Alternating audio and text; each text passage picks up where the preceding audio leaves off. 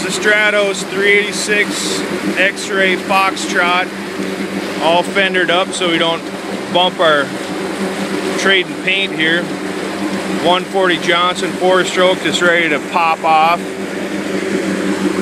Boys are up on the uh, top deck, sunning themselves. Corey's down inside making some Caesars. Just starting our uh, four day trip. Rainy Lake houseboats.